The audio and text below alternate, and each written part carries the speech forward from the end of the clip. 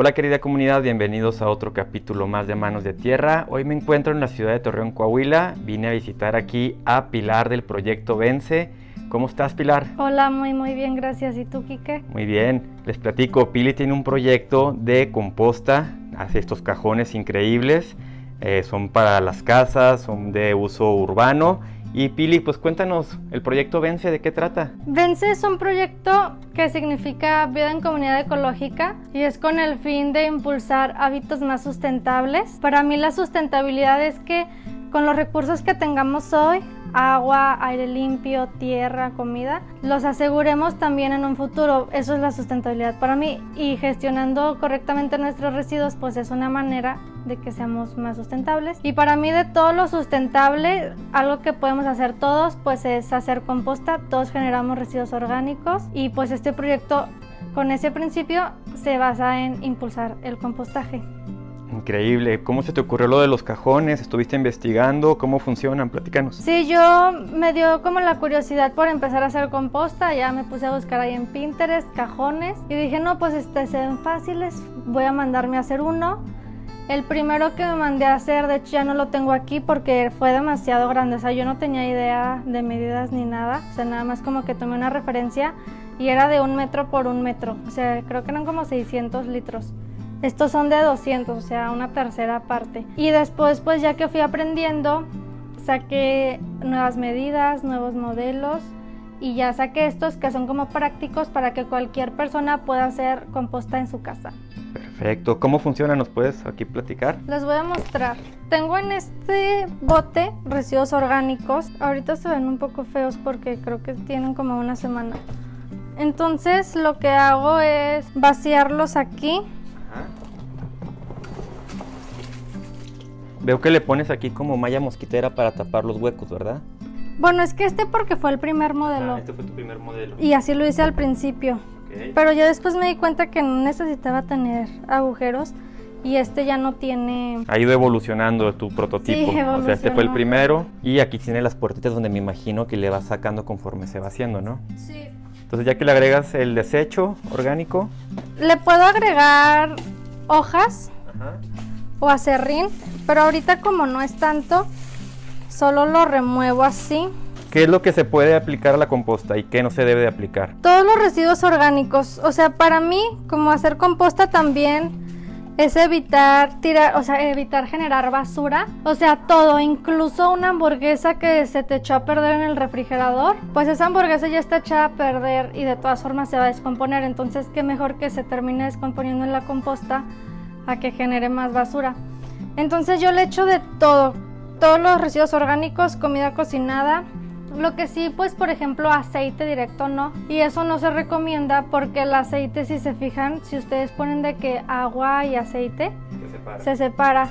Y lo que hace esa separación, de hecho eso pasa también en los océanos, por eso también a veces la, la vida marina como que se muere, porque no deja pasar el oxígeno.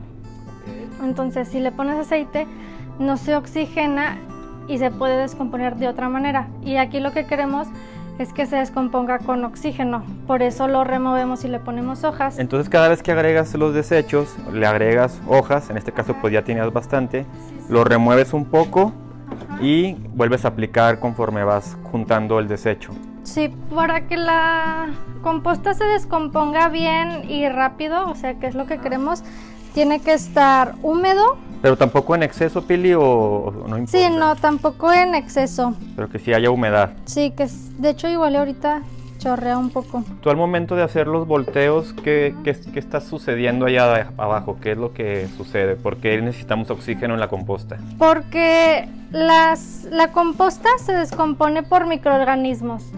El 80% son bacterias, o sea, no las vemos, que es lo, la mayoría y el 20 son insectos de que tijerillas, cochinillas, todo eso. Y las bacterias que nosotros buscamos es que sean bacterias aeróbicas. Si, si no hay oxígeno, se vuelven bacterias anaeróbicas y esas bacterias anaeróbicas generan gas metano. Y es cuando huele feo, ¿no? Okay. Y puede oler feo y se tarda más. O sea, de hecho sí hay, por ejemplo, no sé si has escuchado como los biodigestores. Sí esos funcionan sin oxígeno. Y eso pues es como un domo de que sellado y que se baje y se suba por presión. Que se genera gas metano, ¿no? Sí. Entonces pues esa es la diferencia. La diferencia es que nosotros los tenemos que encargar de temperatura, oxígeno y humedad. La temperatura se da sola con el volteo. Yo ahorita no tengo un termómetro, pero si tuviera un termómetro podríamos ver que a lo mejor sube hasta 50 grados centígrados. Pues cada vez que haces un volteo y agregas humedad también se reactiva más el calor, ¿no? Sí. Sí, la composta tiene dos fases, la activa y la pasiva. O sea, la activa dura 72 horas y es... Yo ahorita recién que puse, a lo mejor en unos dos horas empieza la fase activa porque se va es como la primera descomposición y esa temperatura también hace como que se higienice todo. O sea, por ejemplo, si llegaras a tener alguna bacteria mala, ahí se muere. También por eso es un proceso purificador, por así decirlo. Sí, es que hay, microorganismos que a ciertas temperaturas no sobreviven, ¿verdad? Y muchos, muchos sí, sí aguantan. Por ejemplo, también los volteos es necesario para bajar la temperatura en el momento del volteo porque si la subes arriba de 70 grados puedes matar hasta las bacterias, microorganismos benéficos. Sí, sí, de hecho pues la verdad es que no tienes que ser como tan experto, pero yo digo que hay un indicador de que sabes si lo estás haciendo bien y es que huela feo. O sea, si tu composta no huele feo es que lo estás haciendo bien. Obviamente puede oler a desperdicio, pero tampoco que huela putrefacto, ¿no? Ajá, o sea que no sea de que pues no esté insoportable. O ahorita a lo mejor huele feo porque pues esto ya tenía como una semana. Pero lo padre de tener la composta en tu casa es que nunca dejes que se eche a perder la comida. Entonces, pues nunca olería feo. Oye, Pili, ese tema de que no se puede poner carne, no se puede poner cítricos, ¿tú qué piensas de eso? Es que hay como una confusión por la composta. Porque esta es composta normal. Y la que es de lombrices, a esa no le puedes poner ni cítricos ni carne, porque se mueren las lombrices. O sea, yo puedo tener una lombricompostera aparte y por ejemplo a esa sí solo le pondría mis cáscaras de plátano, de zanahoria, de pepino, o sea, como lo más... Sí, más suavecito, ¿no? Para las lombrices, porque las lombrices son más delicadas. De hecho, tú puedes tener una lombriz y se puede morir por calor o por... O sea, y esta la puedes descuidar o sea, las lombrices supongamos que son como una planta. Si la dejas de regar un día se te muere y ya no la revives, ¿verdad? Necesitas nuevas. Y esta, o sea, la puedes abandonar. No es recomendable porque si te puede llenar de que de hormigas o de grillos o no sé. Pero se puede reactivar, o sea, se revive sola. Oye, Pili, veo que aquí, bueno, tu primer diseño, pusiste las puertitas de este lado ¿Se puede abrir o se te saldría todo? Es que la abrí hace poco, pero si quieres abrimos esta. A esta le pusiste ya el cajón por un lado, ¿no? Sí, a esta la puse por un lado. Aquí está el cajoncito.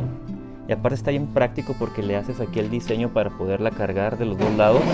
Sí. Tiene su agarraderita. Muy, muy padre está. Y está barnizada con un barniz que la protege la madera de los rayos UV y de la humedad. Ah, ok. Entonces ya ahí abajo va saliendo lo primero. Esta todavía no está tan lista, pero... Pero ahí va, o sea, ya... Sí, o sea, si te fijas ya no es comida, ya es tierra. Entonces, ¿qué, ¿qué, es lo que haces? ¿Sacas y lo vuelves a echar arriba? Sí, esto, lo de la orilla, casi siempre pues no se descompone. Lo que más se descompone es lo que está en el centro, ¿verdad? Ok. Porque ahí está como más húmedo y más todo. Pero si esto lo puedo agarrar... Ajá y volver a echar. Y hasta me sirve. Sí, o sea, esto lo agarro y lo vuelvo a echar. Más o menos cuánto dura el proceso, Pilar, ya para que tú tengas ya una, una composta lista. Mira, por ejemplo, yo esto lo eché hace, no sé, una semana. Y ya ahí se va descomponiendo. Pero para que yo tenga la composta lista, tres meses, cuatro meses. Oye, Pili, entonces ya que está lista, ¿se puede aplicar en las plantas del jardín, en el huerto, en los árboles? Sí, mira, ahí puse composta. Aquí agregaste composta. Entonces, cuando tú pones composta, lo que va a nutrir la, la planta es el agua. Al regarla, los nutrientes se escurren por el agua y es lo que llega a las raíces. Que vienen siendo los lixiviados de la composta. Oye, Pili, platícanos qué fue lo que te inspiró el hacer la composta, ¿Cuáles son tus ideales? ¿Qué es lo que te inspira a hacer todo este proyecto? O sea, la verdad a mí siempre me ha gustado mucho como la naturaleza. Entonces esa crisis ambiental que existe ahorita si era como, ay no, pues qué triste o a lo mejor que no puedes hacer nada. Y siento que es algo bonito que podemos hacer nosotros como generación para dejarlo para las siguientes generaciones. Un mundo con menos basura, con ecosistemas restaurados, reforestados, ambiente limpio. También pues como es parte de la economía circular, de que comes, desperdicias, ese desperdicio sirve para cultivar nueva comida. Comes, desperdicias, nueva comida. Entonces, literal es ese círculo económico. Para aprovechar nuestros recursos, porque por lo mismo cada vez todo es más caro. O sea, el otro día estaba investigando, ahorita se usa 800% más, más fertilizantes en la agricultura que hace 60 años. Entonces todo es mucho más caro y va a seguir subiendo el precio. O sea, nuestra economía pues cada vez va a ir siendo más complicado el tema económico. Y la sustentabilidad también no es para como poner ese límite y contrarrestar, pues darle el apoyo para no para que no cueste cada vez más extraer todos los residuos, o sea, todos los nutrientes y todos los minerales. Pili, cuéntanos cómo puede la gente encontrarte en las redes sociales, cómo se puede conseguir los cajoncitos de Vence. Lo pueden encontrar en mis redes sociales así, Vence, Vence TRC. Y ahí tengo un link de WhatsApp, por ahí hacen su pedido, ahí vienen todas las especificaciones. Te incluye una cubetita de residuos orgánicos, este, un costal de ojos, o sea, todo lo que necesitas para empezar, para que lo compres y esa misma semana, ese mismo día juntes tus residuos y empieces y no sea de que ahora tengo que conseguir las hojas o ahora tengo que conseguir la pala. Y obviamente, obviamente tú los asesoras para que funcione bien, la gente que no entiende esto, aquí con Pilar, pues ella les explica todo. Pili, pues qué padre, gracias por compartirnos aquí toda esta información sobre tu proyecto de Vence. La verdad es que tengo algunos años siguiéndote y siempre me llamó mucho la atención que una chica tan joven como tú se esté tan inspirada y motivada en hacer este tipo de cambio en la sociedad. Te felicito mucho y pues gracias. Muchas gracias a ti, Kike, cuando quieras. Y aquí les dejo todos los contactos de las redes sociales de, de Pilar y pues nos vemos en otro capítulo de Manos de Tierra. Hasta la próxima.